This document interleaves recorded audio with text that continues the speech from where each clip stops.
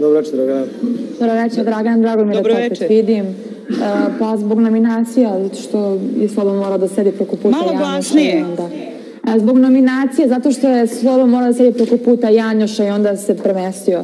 Bilo s- e, sa ovaj e, sinoćnom vašom svađom, zašto si rekla da si se ohladila, da ti više poljubci nisu to, da trebaš da ideš kod psihologa, to...